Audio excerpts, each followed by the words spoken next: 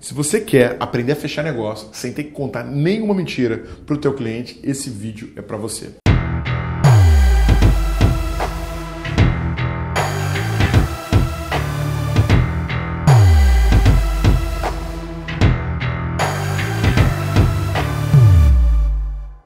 Cara, um mito muito errado que existe no departamento de vendas é que a gente precisa ludibriar o cliente para que ele feche negócio com a gente. Desculpa, cara. Se você está num negócio hoje que depende de uma mentira para você conseguir ganhar, para você conseguir fechar uma venda, a tua empresa não vai se sustentar por, longo, por muito tempo. Se você é funcionário, corre e procura emprego. Se você é um empreendedor, cara, muda o teu modelo de trabalho, porque não tem jeito com as redes sociais, com o Reclame Aqui, com o Facebook, com o Instagram, ninguém está impune de contar a história.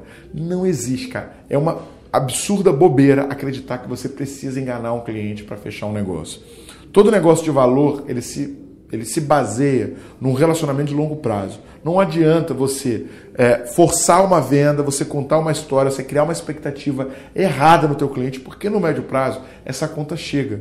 Não conta a história. Pensa, como que de fato eu consigo me colocar do lado do meu cliente? Como é que eu consigo agregar valor? Uma vez me perguntaram, Tiago, você acha que eu tenho que mentir para conseguir gerar uma reunião, para conseguir fechar uma venda? Cara, toda vez que você usa de mentira para ter resultado, normalmente você está construindo algo que não vai ser perene, algo que vai ser muito pontual, algo que vai durar pouco e logo vai deixar de funcionar. No lugar de você mentir para o teu cliente, Cara, passa a se colocar no lugar dele, se posiciona como um aliado, se posiciona como alguém que está preocupado com o resultado que esse cliente vai ter. Se você não fizer isso, dificilmente você vai conseguir escalar no longo prazo. E outra, é muito mais fácil vender para quem já é cliente do que para quem não é.